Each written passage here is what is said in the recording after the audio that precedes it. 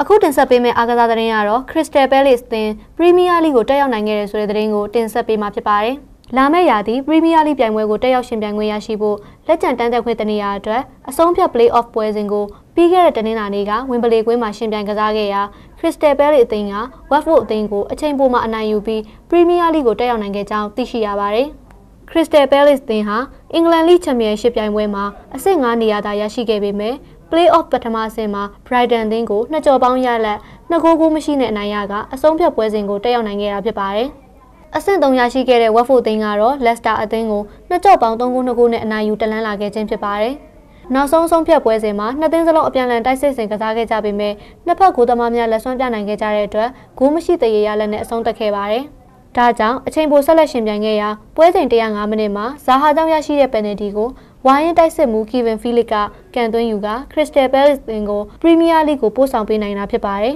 ။ Crystal Palace တင်ဟာ League Championship မှာရှေ့ရာသီကြာကျင်းလည်ခဲ့ရပြီးမှ Premier League ကိုတကြောပြန်နိုင်ခဲ့ခြင်းဖြစ်ပါတယ်ရှင်။